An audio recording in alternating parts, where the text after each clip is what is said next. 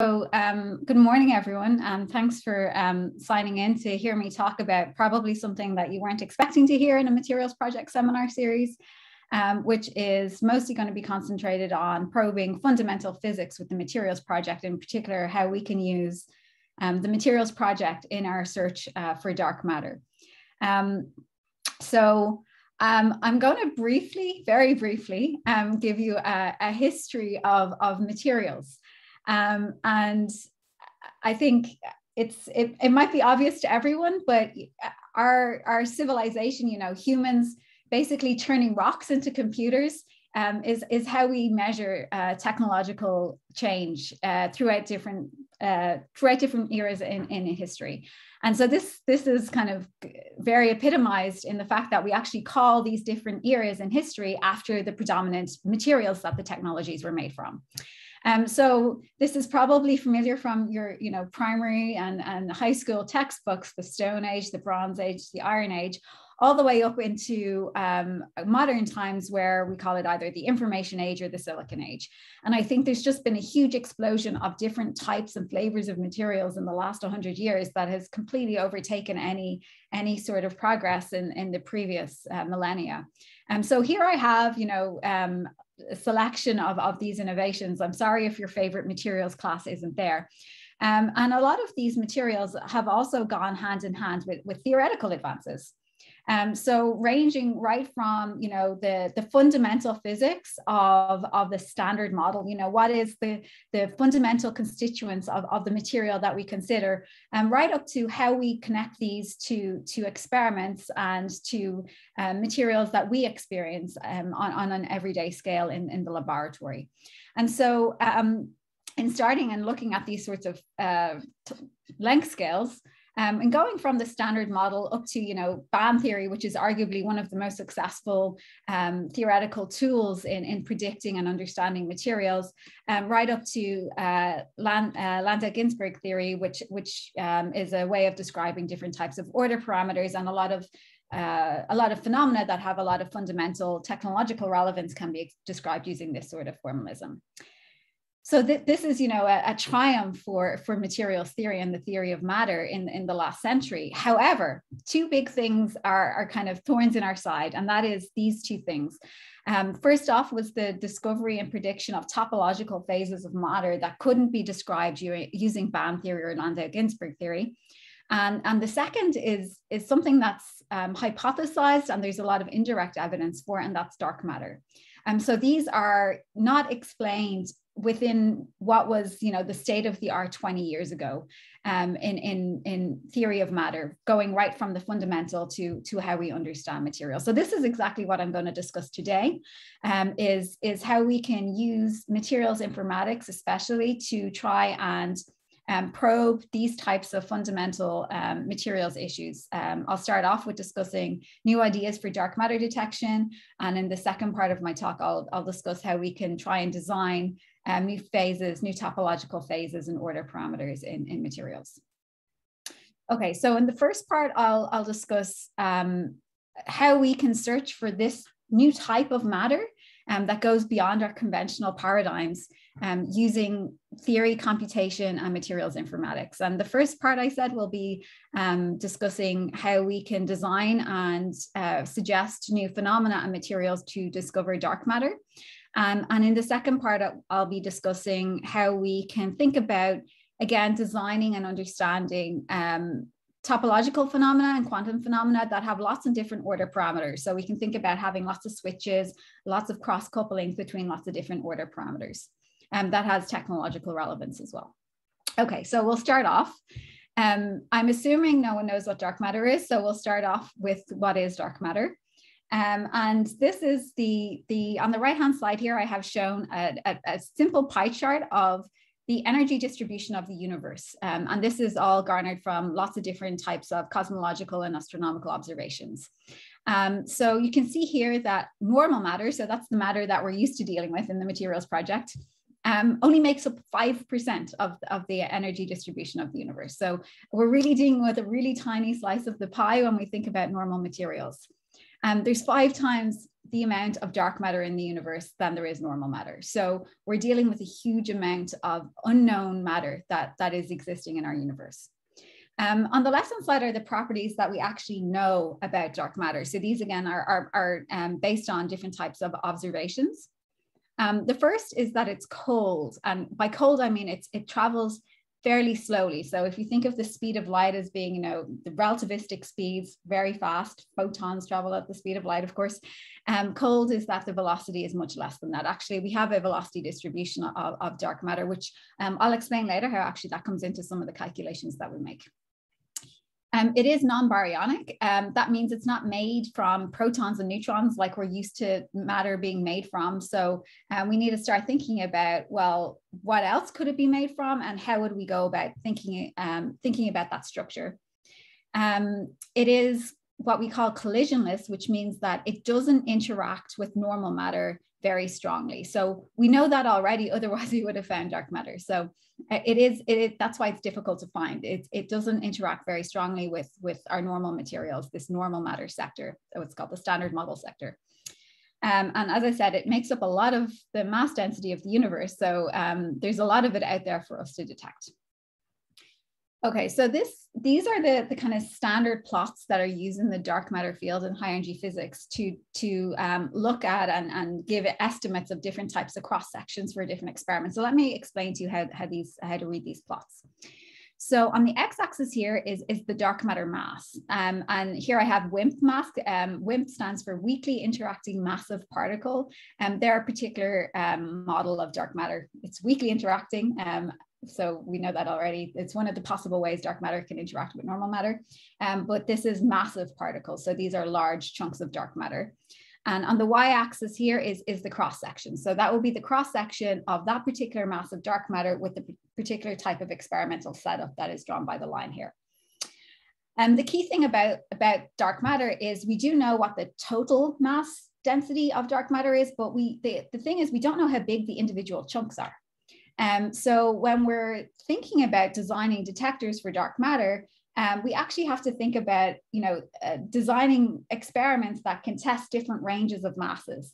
And that can range from masses like lighter than an electron all the way up to the size of a black hole. So we're talking about orders and orders and orders of magnitudes of masses that dark matter could be. So let's look at this plot here. Okay, so these lines are giving uh, the, the, these curves, they're called reach curves, are giving you the sensitivity of that particular experiment um, to that range. So uh, one of the, the big experiments is SuperCDMS. You can see it in this kind of blue line, blue dash line with 2017 on it. And this is a semiconductor-based um, experiment. And what this means is that this experiment would be sensitive to the masses on uh, as far as it goes on the left hand side. So you know about 20 GeV 10 GeV of, of WIMP masses. And then the, the cross section is is going above. So you know going up and to the right is the sensitivity that that that particular experiment would be sensitive to. Um, so then if we start thinking about designing new detectors well there's two things we can do we can first start pushing to higher volume. So you can see there's a bit of white space down here. We can start pushing to higher volumes, which just means making bigger detectors, right? Increasing the mass, increasing the cross-section area. The second thing we can do, and you can see there's a lot of white space over here, is pushing these lines to the left-hand side, which means pushing the lines to being sensitive to lower thresholds or lower dark matter masses. And it's this part that I'm going to discuss today is actually pushing, pushing these lines to the left-hand side to design dark matter detectors that are sensitive to even lower mass dark matter particles. Well, why are we doing this? Well, here's the energy range here. So this low mass dark matter particle energy range is kind of this uh, micro to milli electron volt range all the way to an, a giga electron volt dark matter particle. But if we look at the types of energy scales in quantum materials, that's exactly what we're thinking of.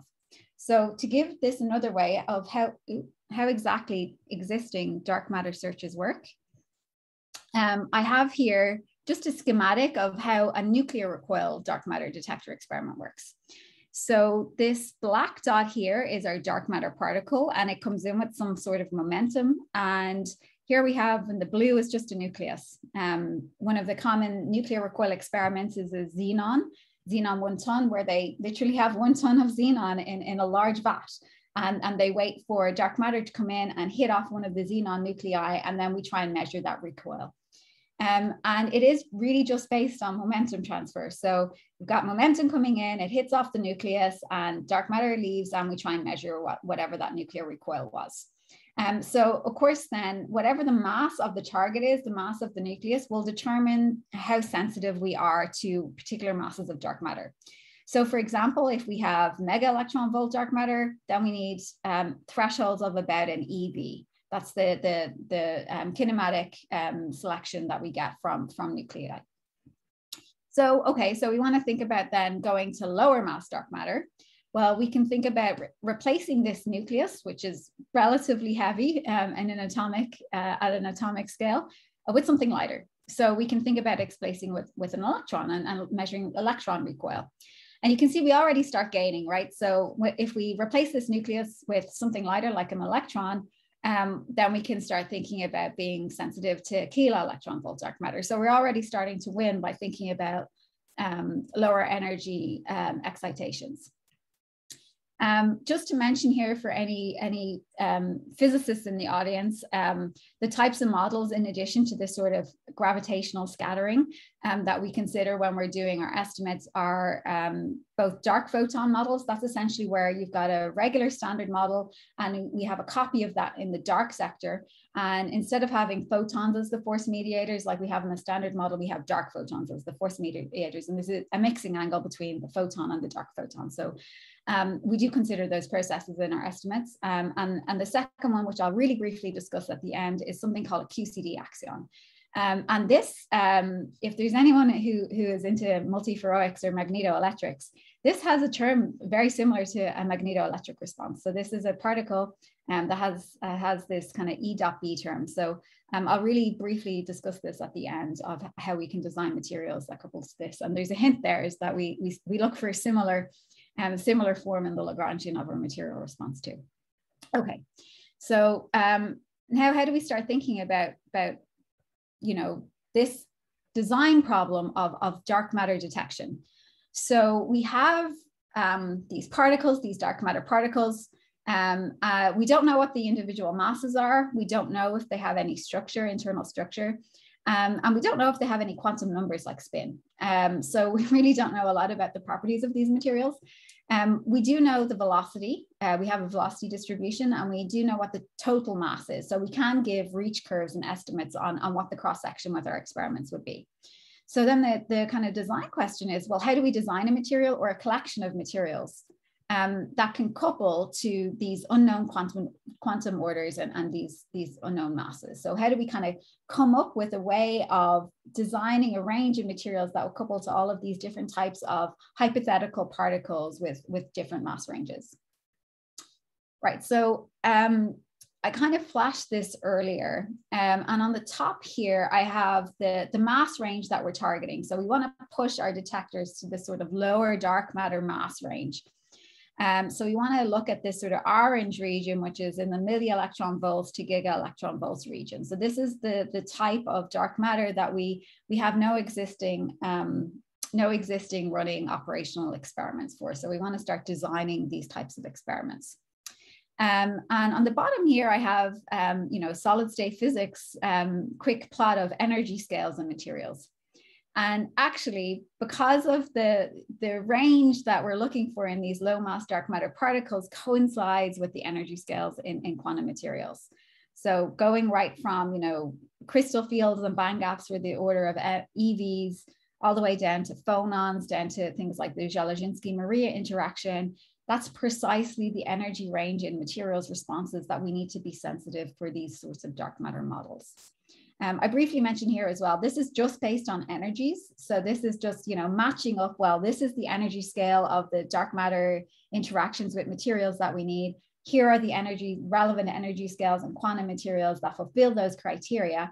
But you can also envision different types of couplings as well. If, if dark matter has, for example, quantum numbers like spin, then we can start thinking about coupling to spin as well. Um, but this is purely based on energetics. Okay, So today I'm going to discuss um, three of these examples, um, two in, in a little bit of detail and one I'll mention briefly. Um, I'll talk about spin orbit interactions, designing spin orbit interactions, um, phonons for dark matter detection, and briefly at the end I'll mention um, something called axion coupling, which can be um, designed, we can design a material with a Dzyaloshinskii type Moriya interaction that, that is sensitive to this sort of coupling. Okay, so these are the three that I'll discuss today. So I'm going to start off with this spin orbit interaction um, uh, type of uh, detection idea for dark matter. Okay, so um, I mentioned already that, you know, as we go to, to lower mass targets, so lower mass, either electron scattering or quasi-particle scattering, um, we, we need to start thinking about lower energy thresholds. And two of the um, two of the types of processes that we consider here, I just have a kind of a cartoon of a, of a Dirac semi-metal. Um, so these Dirac semi-metals are, are um, types of topological materials um, that have these sorts of linear crossings. And basically the Fermi level is right through this pinch point, right through the center of this cone. And so if we've got this type of, of band structure, we can have dark matter that uh, comes in and basically kicks an electron from the valence to the conduction band, or you can also have uh, absorption by dark matter. So these are the two processes that, that we consider. Um, but to, to when we take in these sorts of matrix elements and, and look at the cross section, um, we can come up with a shopping list of materials properties that we need to optimize this type of interaction. Um, so to, to maximize this cross section, um, a material should have the following properties at 4 Kelvin, because 4 Kelvin is actually the, the common operational detectors of these types of dark matter experiments. Um, so, you know, we're kind of lucky in a way because we're doing DFT at zero Kelvin, but we're, we're getting pretty close to what the operational temperature of these will be. Um, so uh, first off, we, we want a gap as small as possible, but we do want a finite gap so that we're not getting too many dark counts. So we want a, a small gap of the order of milli electron volts. Um, we do want something close to a Dirac dispersion. Um, and that means a linear linear dispersion at the Fermi level. Um, the reason for this is because we want the Fermi velocities to be in a certain mass range to optimize the kinematic matching with the, the velocity range of dark matter. So that's that's not a, a, kind of a requirement. It's a preferred criteria because it actually optimizes the, the, the cross-section amplitude. Um, so as I said, we want these kind of relatively small Fermi velocities. So um, these, these values are just taken by optimizing that kinematic matching with the velocity distribution of dark matter. Um, but I do mention here that we want, um, and, and there, previously it had been suggested that that graphene, and there's actually a, a, an experiment called Ptolemy in, in Italy that is looking at graphene as a dark matter detector. Um, but for this type of interaction, um, the, the Fermi velocities in graphene are actually too high. Um, uh, we, we do want anisotropic Fermi velocities, and I'll explain why we want that in, in a little bit when I give you a materials example. And, and finally, we want a large cone degeneracy. And by that, I mean, we just want as many electrons available as scattering as possible, because, you know, the more electrons that are available um, in our detector, then the greater the cross section will be. Okay, so, oh, so here is, is um, our strategy for finding this. So can we find ultra low band gap materials? And, and this work was done by um, postdoc in my group, Katie Inzani, um, in collaboration with uh, Anubhav Jain's group, especially Alireza, who, who did some of this. Um, so what we want to do is, is identify semiconductors with milli electron volt band gaps. Um, so uh, here is just a schematic, a reminder again, what, what we're discussing is we've got low mass dark matter. So we've got this uh, energy deposition on the electron. So this is the type of um, energy range in the band gaps that we need to be sensitive to those sorts of low mass particles. However, um, those of us who know DFT know that we have problems with, with accurately calculating band gaps in, in, in um, standard vanilla DFT. Um, so we know that we, we underestimate band gaps um, in, in regular DFT. So instead of doing this, we thought of a way of circumventing this problem. So rather than just doing a search for low band gap materials, which we don't expect to be very accurate given given this this shortcoming of, of standard DFT and you know if we don't want to go to very heavy hybrid calculations or GW calculations is there another way we can think about of, of finding some of these types of materials? So our idea was in, instead of just looking for low band gap materials we could search for materials where they have a band gap that's opened by spin orbit coupling because spin orbit coupling is the magnitude is in the sorts of low MeVs, tens of MeVs range, depending on the particular chemistries that we have. And that gives us the appropriate sort of energy scale and band gap opening that gives us the right properties for this material. So this is precisely what we're looking for is we look for a material um, that is metallic or doesn't have a gap when we don't include spin orbit coupling and opens up a gap when we do include spin orbit coupling. Okay, so this is precisely what we did with the materials project. Um, we, at the time, um, which was I think about two years ago when we started this search, uh, there were about 86 inorganic materials in the materials project, and just over 4,000 of those had spin orbit um, spin orbit interactions included in the calculation. So um, our search kind of narrowed down to these 4,000 compounds that that there was spin orbit coupling data available. Um, so then the next question was um, this criteria of when we turn off spin orbit coupling that are metallic and when we turn on spin orbit coupling that a gap opens up. So that gave us a very clear um, search criteria to start down selecting these 4,357 compounds. And so when we did this, we called these would-be metals, right? So um, they, they look like they're metals without spin orbit coupling, and there's, there's a small gap when we include spin orbit coupling.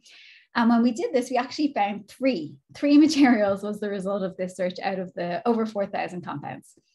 Um, so these three classes of materials then were, were refined using um, higher level density functional theory. So, you know, uh, ensuring that we were getting, you know, appropriate band gaps by doing hybrid functional calculations, etc. And when we did this, we actually found one family of materials. Um, and these were tin pnictides that have the right range of ME scale band gaps um, that fulfill what our search criteria was. And actually, um, this, this band gap in these pnictide is, is actually variable by composition. So I'll explain exactly how, how we can tune that band gap um, depending on the chemistries, particular chemistries that we find. Okay, so the first um, thing to look at is this is the crystal structure on the left-hand side. It's a rhombohedral crystal structure. It's, it's layered. Um, so these white kind of peachy atoms are the strontium, um, the tin is the pink, and the arsenic is, is the, um, the navy blue or purple. Um, and the important structural feature to focus on here is actually the tin arsenic bonding. So you can see it's got this, this corrugated layer, um, this kind of zigzag layer um, in, in this, in this um, structure. Okay, so we, we know that we have on the right-hand side, here is the projection of the tin and arsenic. Um, on, on the x-axis here, I just have a direction near gamma in the Brillouin zone. On the y-axis is the energy and zero here is the Fermi level. So here on the left-hand side, we have the calculation, band structure calculation without spin orbit coupling. And on the right-hand side is with spin orbit coupling. So um, you can see here, this is precisely the kind of would-be metal where on the left-hand side, we have these bands crossing and on the right-hand side, it gaps out. Um, these are primarily comprised of this tin and arsenic um, at PZ. So you can see this, this, um, this uh, crossing in, in this tin and arsenic PZ uh, when you include spin orbit coupling um, causes an anti-crossing, which gives you this band gap opening. Okay, so then we're thinking about, well, do we have a way of starting to tune this material? So it, it, appears from these calculations that this band gap opening is caused by spin orbit coupling. So maybe we can, you know, increase this band gap by moving to heavier elements. So we go to the periodic table and start replacing um, our, our uh, making substitutions in our crystal structure, um, isovalent substitutions to see if we can increase that band gap size. So our hypothesis was um, that increasing and uh, moving down the periodic table will cause spin orbit coupling to increase, and that would in turn increase the gap um, opened by spin orbit coupling. So we did these calculations, and here's the series. Um, so on the top here is the band structure calculations, including spin orbit coupling. So we've got the magnesium compound, the calcium, the strontium, and then we did barium and strontium or uh, uh, strontium again with, with uh, phosphorus instead of arsenic in the last one. Uh, again, this is the full band structure. The x-axis is the direction in, in the Brillouin zone and the y-axis is the energy where the Fermi level is marked by the dashed line. And then I've got a zoomed in version of, of the interesting part of the band structure. So where that, where that band inversion is happening and we get the small gap material. So the magnesium case, okay, that's kind of a bust because we get a full reshuffling of the bands and it's just metallic. Um, in, in the rest of the cases, though, we see something interesting. So here, um, we, we get in the calcium case, we do get a metal, right? Because we get this band structure crossing this. But you can imagine, like maybe with a little bit of, of strain or pressure, we could kind of move that Fermi level around and, and put it, thread it through the gap. But the interesting thing here is um, we can see this, this um, band gap. So if we look at, you know, from, from the top of the valence to the bottom of the conduction band, we actually see this band gap decreasing as we increase spin orbit coupling. So we got something that's greater than 60 MeV, we've got 60 MeV, 54 down to 16 MeV. So it's actually opposite to what we are expecting. The band gap actually decreases as we increase the spin orbit coupling. So what's going on here? And this is actually where the, the structural properties are really important. So um, in this case, as I said, these, these two bands are this tin and arsenic PZ. Well, actually we find when we start replacing this strontium atom, the, the big kind of big um, strontium these group two elements, um, we find that this buckling, this corrugation of these tin and arsenic layers actually mod is modified. So by also going down the periodic table and increasing the spin orbit coupling, we're actually also including like larger, larger atoms in that substitution, which in turn changes, changes the corrugation of these atoms. And that is actually what's causing um, the band gap modulation. In this case, it's because of this PZ-PZ orbital overlap is, is being modified um, by this delta, this corrugation of, of, this, of these two layers. Okay, so um, here is here's kind of our, our tunable band gap materials that are in the energy range that we wanted for dark matter detection. And I just mentioned briefly here, but I'll explain why this is important later. These are also directional. So we get anisotropic um, uh, velocities um, in, in, the, in the electrons in, in, these, um, in these band structures. Okay. So um, I've kind of discussed the spin orbit interaction part. The next one I'm going to discuss is, is phonons. So how dark matter interacts with phonons. Um, and I am really briefly going to describe how we calculate this. So uh, here's a simplified version of our cross section. And basically the, the blues are the normal matter. So we've got these, these you know, uh, phonons in our material will be the normal matter in this case, and the chi's here are the dark matter. And how these interact with each other is given by this matrix element. And one of the ways we consider this is, is through this dark photon coupling. So um, there's a mixing angle between the regular photon and the dark photon coupling. What this means for us when we're trying to design a, material is that we're considering that dark matter has a tiny amount of Coulomb charge on it. So essentially what we're doing is trying to design uh, a detector where we're trying to trying to be uh, sensitive to, to a particle with a very, very, very tiny amount of charge. So this is, this is what this um, this uh, basically gives you in the materials requirement. So the, the, the, way that we can think about then coupling to phonons is through optical phonons. Um, since we have in, in a, a polar semiconductor or a, a, a diatomic material, uh, we have oscillating dipoles, which will couple to, to light. Um, so this is precisely the mechanism that we're going to start thinking about how dark matter can couple to phonons. So first off, why, why are these interesting for dark matter? Well, first, first thing is this kinematic matching. So we have the right energy scales and phonons, right? Phonons range from, you know, zero MeV to, you know, one or two or 300 MeVs, depending on the type of system you have. Um, they have small screening. Um, they have, uh, they can have an anisotropic crystal structure. I'll explain why that's important in a second. Um, but really importantly, even for a theorist, uh, there are high quality crystals available now. So you can buy high quality gallium arsenide, um, you know, or gallium nitride that could be made into a detector now. We don't need to do years and years of materials development to build high quality crystals now. And um, the, the other timely issue is that their sensor detector technology is becoming uh, mature right now for these sorts of experiments. Okay, so when we look at how dark matter interacts with these materials, um, here are the kind of materials quality factors that we get when we try and design or look at the materials response for dark matter interacting with phonons. And the two processes that we consider are just scattering and absorption. So scattering, just basically coming in and, and you know populating a few phonons and trying to measure those, or alternatively absorption of dark matter by, by optical phonons. Um, but what I want to draw your attention to here is, is the blue are the material specific quantities. So the blue on this top one is the nucleon mass, um, the minimum maximum phonon energy. Um, these are all things we can either get from the material or we can, we can actually calculate using DFT.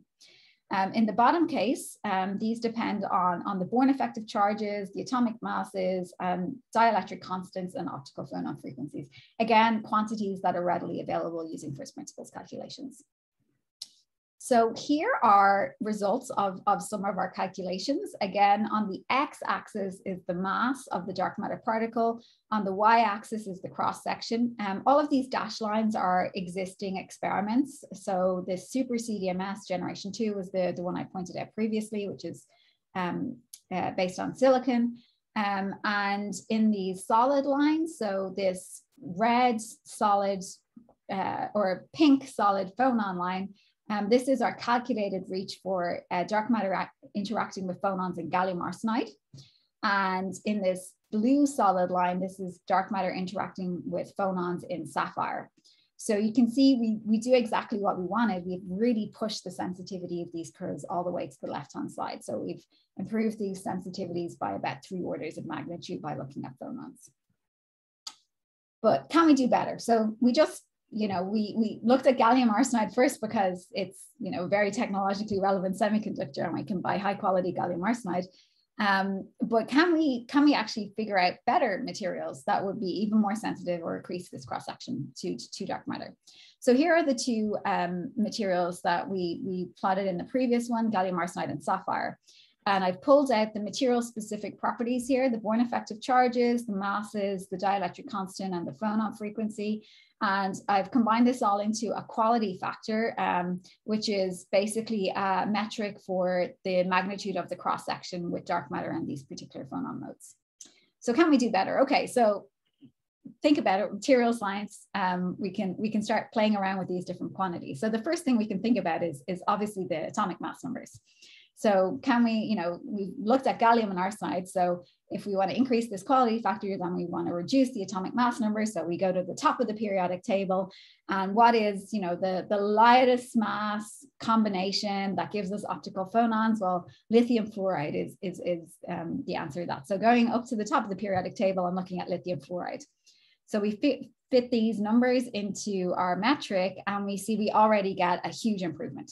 So we already get, you know, uh, over three um, three times enhancement over sapphire by looking at lithium fluoride, just by considering lower masses. Um, next thing we can think about is this Born effective charge.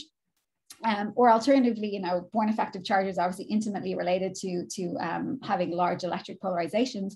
But of course, we can calculate um, or find uh, Born effective charges, uh, which are included in some of the, uh, a lot of the materials project as well.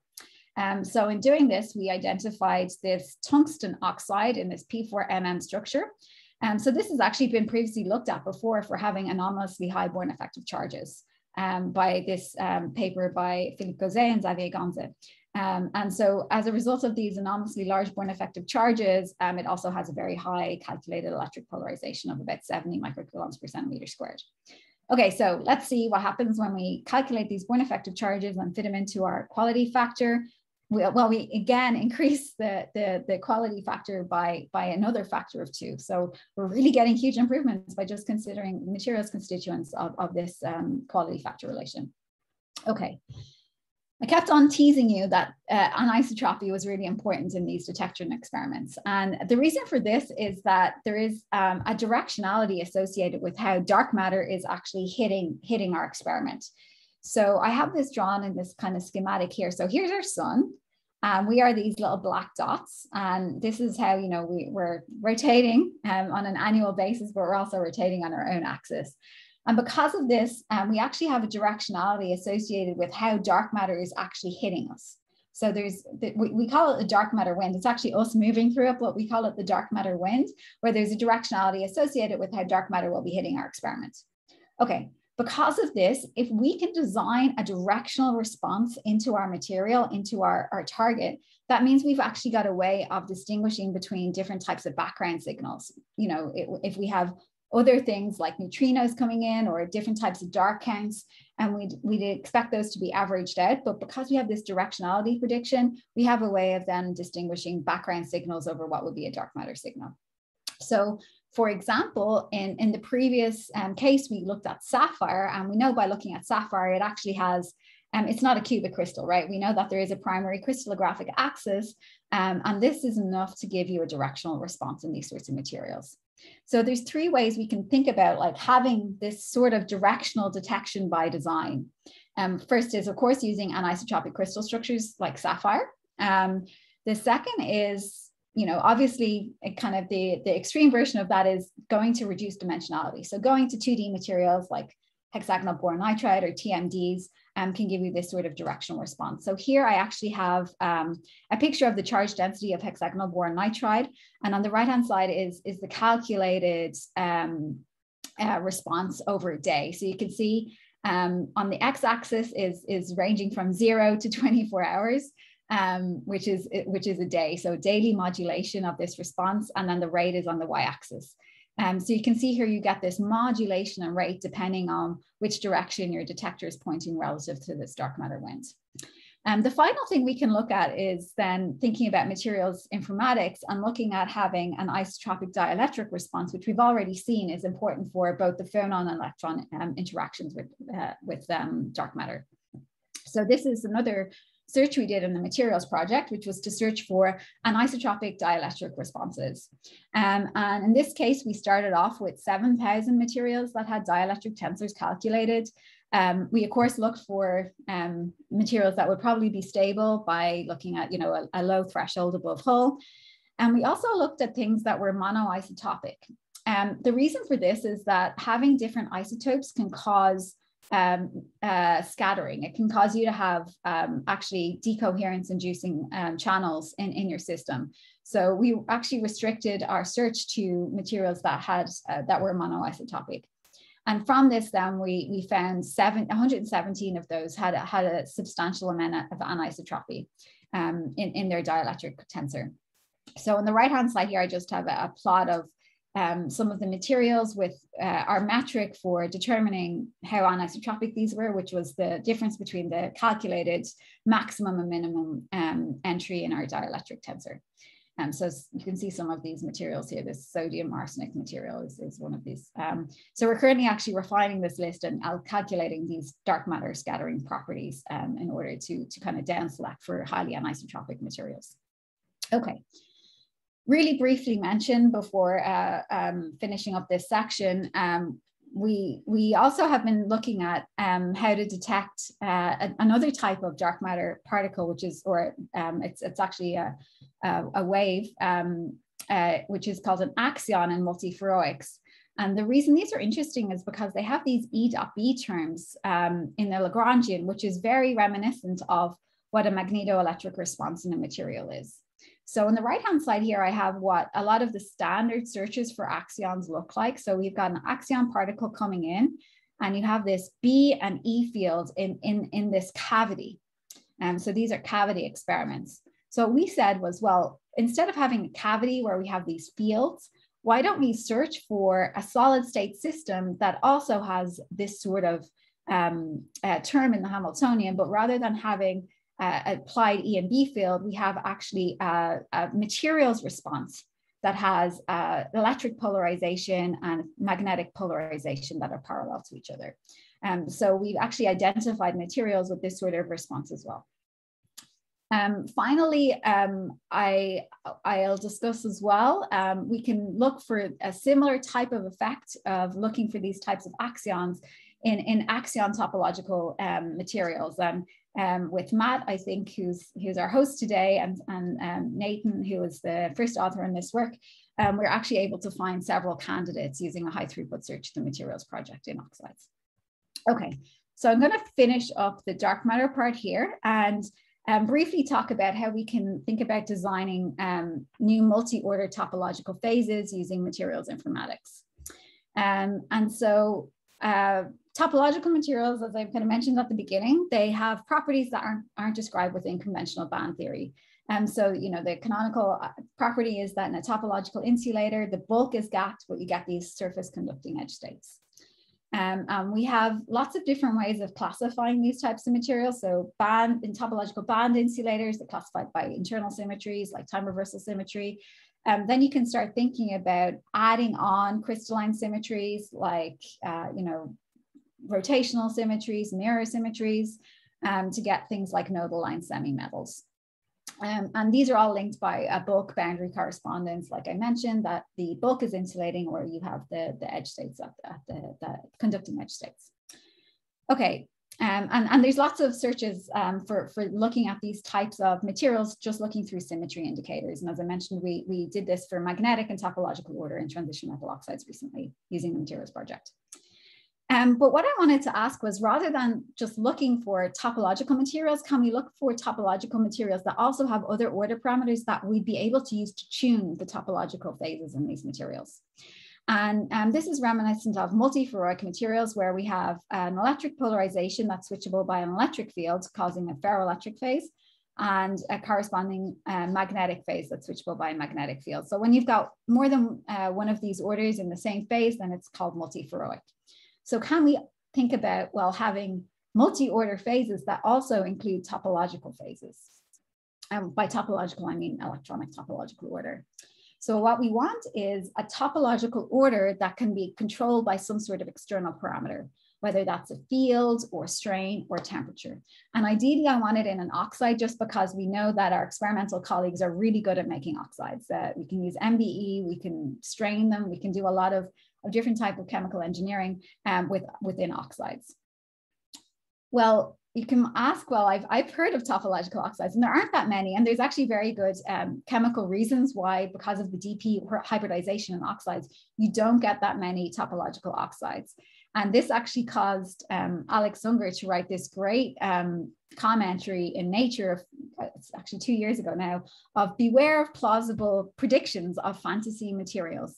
Um, I think this is a really good warning for everyone doing materials informatics. Um, so uh, I guess in the next five minutes, I'm going to give you some plausible predictions of hopefully not fantasy materials. Um, okay, so this is what we want. So in, in ferroic type of, of systems, we require symmetry breaking. So for example, in a ferroelectric, we want to break inversion symmetry. But in topological orders, we require symmetry protection. So these are kind of the opposite types of requirements that we need for these types of systems. And so here in this um, plot I have on the x-axis is the control parameter. And you can see that if we want to break a symmetry and go from topological to, um, to trivial, uh, we go from a high symmetry phase to a low symmetry phase where we have this order parameter. So the example I look for is, is by controlling inversion, right? So for polarization, we require inversion breaking. Um, so we look for a topological order that is preserved by inversion. And there's, this is all just showing you that there's lots of options and different types of topological phases that have this requirement where you've got some sort of uh, topological order that is preserved either by inversion or by a mirror plane. So this is the kind of criteria we need um, for, this, for this type of searching for a ferroelectric topological material. Uh, we want it to be metallic or close to metallic in DFT. Um, the reason for that is that one, topological insulators usually have small band gaps. Um, and we know already about the, the band gap estimation problems anyway. So it's kind of safe to look for metallic states. Um, and then we also want obviously a ferroelectric. So we want to find polar nonpolar pairs and then of course we want topological band structures. And the way we're going to down select for that criterion is to look for non-symmorphic crystal structures. Okay, so I'm going to actually kind of whiz through the next bit. Um, so Tess Smidt, um, who's now at MIT, um, did a, a, search, a high throughput search for, for ferroelectric materials. Um, and this involved looking at the materials project, taking in nonpolar and polar structure, uh, figuring out if they could be um, related to each other um, by interpolating between them, and um, she was also searching to see if they were metallic or not. So if they were metallic, she kicked them out of her workflow. And I said, could you give them to me? Because I want to do this topological search. So I was taking Tess's junk calculations and, and looking for um, this type of non-polar polar relationship in these uh, nominally magnet uh, metallic um, ferroelectric materials. Um, so the next thing we did was look for which ones had non-symmorphic symmetries, which can cause um, nodes. Um, I'm going to actually skip over this, but you essentially get something called band sticking, which causes bands to, to be degenerate at high symmetry points um, when you have these types of uh, fractional translational symmetries in these materials. Um, and so when we did this search, we found 94 materials that were metallic with this polar nonpolar relationship. 24 had this non-symmorphic symmetry, and uh, one of them was an oxide, this yttrium chromium oxide. Okay, I'm going to actually um, skip through this and just show you the results because I think I'm running out of time. Um, it is in the hexagonal manganite structure. Um, we did calculate what the magnetic ground state and found two of these had, had a ferromagnetic ground state. Um, but the result is basically here. So in this case, we find that we get a topological state in, in, in, um, in the high symmetry structure. And then when we break inversion, we get a ferroelectric where uh, we get a polar structure um, that, that causes these nodes to gap out. Um, so here is a summary. Um, in the top, we have this non-trivial case where you see at the Fermi level, we get these symmetry protected nodes. And in the bottom, we have when we break inversion um, and cause a polar structure, it gaps out to become a trivial insulator. And we actually see in, in, in real materials, uh, in hexagonal manganites, for example, we can actually get both of these polar and nonpolar structures in these um, types of vortex-like domains. Um, okay, so I think I'm at a time, so I'll just um, summarize here in, in thinking about, well, we can use quantum materials and materials informatics in particular to, to think about new materials and ideas for detecting these sorts of low mass dark matter particles. And I think it's interesting to think about, right? We've got 5% of, of the universe is, is like our standard matter. Um, and five times that is dark matter. So like, is there a dark periodic table? Can we start thinking about designing experiments that would start probing the properties of dark matter and how they couple with different types of orders and materials? And very quickly, I described how we can design new types of multi-order topological phases um, and, and think about like dark, I call them the dark calculations and kind of information that was lost in high throughput searches were actually useful for different types of physics questions. So asking the right question can, can cause you to, to really um, lead to new physical insights in, in, and, and new materials that have interesting properties. Okay, and I'm just gonna finish up here with the acknowledgements. Um, a lot of these people are dark matter folk and also some um, experimentalists, uh, materials experimentalists, and of course the, the materials project who have collaborated with extensively on this type of work. Um, I guess at this stage, it's time to answer some questions. Um, thank you very much for that, Sinéad. That was that was a pleasure. That was a fantastic talk.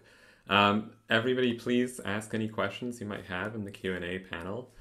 Um, while the, the questions come in, I guess I just want to say that um, it's not at all obvious to me that a database like the Materials Project would be useful for tackling questions about fundamental physics. So that is really nice to see. Um, I think normally when we do material screenings, um, you know, we're looking for uh, properties for you know new new devices or you know that that uh, like batteries or solar and that kind of thing. Um, and it's really interesting to see in your talk uh, screening criteria that we don't normally see. For example, anisotropy because of the axis of the solar system, or um, um, uh, like monoisotopic screening criteria. Um, it's just uh, something that I, I do not normally see in the course of my own work. So that was that was really nice. Um, thank you. Um, okay, so we have uh, one question, I think. From uh, Ankit. Uh, for high spin orbit interacting materials, can we look for transition metals for the detection of dark matter, um, as transition metals like uh, nickel lanthanum are highly correlated? Yeah, so um, there's no reason why we um, why we you know we we kind of were agnostic when we did our search. We we used um, whatever was available in the materials project. So um, there there is no reason not to include those. Um, but at the time, um, I think it was, you know, 4,000 or 5,000. Um, uh, the, the materials that had spin orbit coupling included were originally selected to be those that we expected spin orbit coupling to be sizable.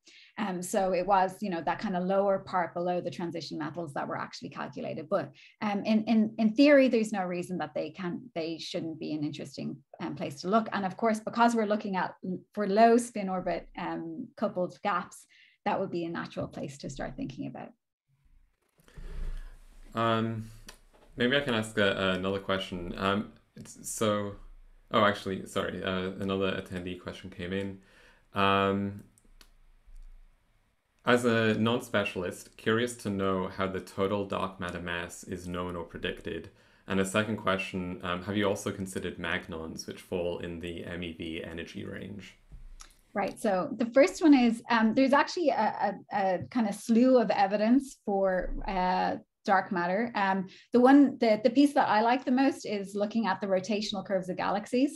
And um, so you can actually measure by looking at um, you know, observational light. So, you know, things that we can actually see.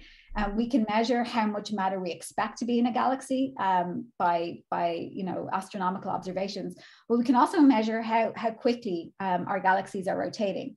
And so in the same way, right, if you were to, I, I, the way I like to think about it, if you were to put like an orange in a bag and swing it around your head, you kind of know how much mass is in it by how much you need to get to get the angular momentum running, right? And in the same way, we can measure the rotational curves of galaxies and know how much mass is supposed to be there. But there's a big mismatch between how much we expect to be there based on the rotational curves and how much we can actually measure uh, from, from observations of the matter that's there. Um, so that things like that of, of big deltas between what we expect to be there and different observations allow us to kind of narrow down what that what that delta in, in mass range is. Um, the second is about magnons. Yes. So, so um, in, in exactly kind of think in the same way of thinking of phonons, um, you can think of other quasi-particles like magnons, and they have uh, the magnons have the added advantage, of course, that they're also um, sensitive to spin type, spinful dark matter. So um, they they have this you know extra added advantage. Um, the issue with magnon-based detection is the readout. So we have ways of reading out uh, phonons using transition edge sensors, but the, the strategy for reading out magnons is a little bit, uh, it's a little unclear. Um, we're actually looking at uh, magnon to phonon conversion um, for that sort of reason. So if we could, you know, dark matter comes in, interacts with magnons, magnon converts to a phonon, and then we'd be able to read that, read that out. So yeah, great suggestion. Uh, thank you. So uh, uh, Bella asks, um, does the directional nature of the WIMP wind suggest that there is a dark matter source within our galaxy or universe? Um, there's not a source. It is. It is. It's. It's. It's not like a central um, emanating thing. It's not like there's there's uh, one place that it's coming from.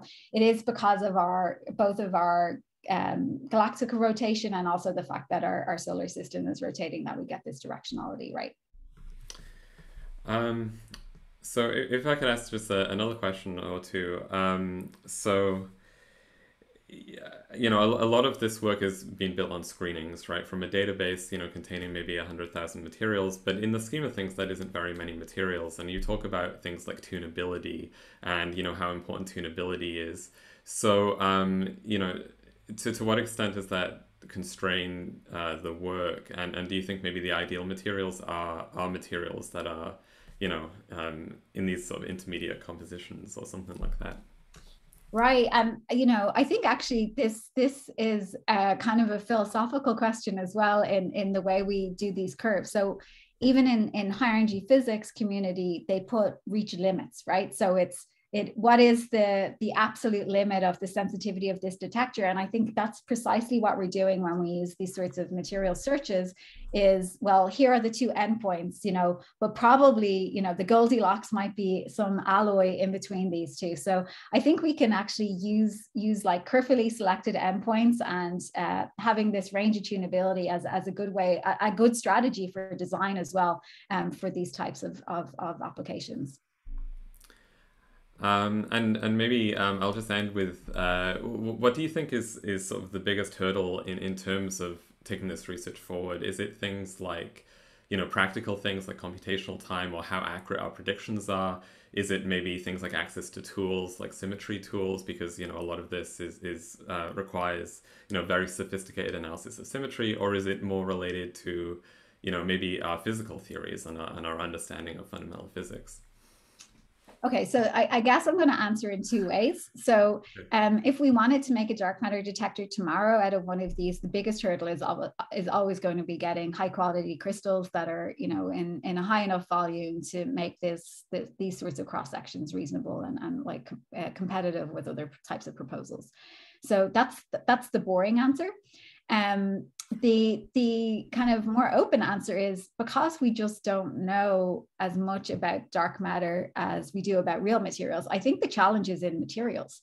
So I think really, if we do want to understand material, like finding dark matter with materials, um, having really good understanding of what the quasi-particle processes are, how, how these different degrees of freedom interact with each other and how we can control them will be really essential for, for actually thinking about uh, finding more about what, what dark matter is because it, the material part is the bit we have control over the dark matter one we, we really know nothing about. So um, you know improving theoretical methodology for understanding things like correlated you know correlated quasi-particle systems any sort of emergent phenomena these are all going to be opening up new directions in dark matter detection and i think that will be where the, the interesting stuff in the future comes. Okay um, to, to your first point um, we did have one question from um, Aditya about um, how important crystal quality is for the detection systems. I know that, you know, at the end of the day, we can predict many, many things, but, you know, it takes a lot of hard work to actually try and make them. So um, uh, I, I just want to end the seminar. So we're at, we're at the hour, um, but I just want to say thank you again for your time. I'm very glad that you could join us. And um, thank you, everybody who uh, was watching and uh, asking questions. And I hope you can join us for the next uh, Materials Project seminar as well next month. Um, thank you again.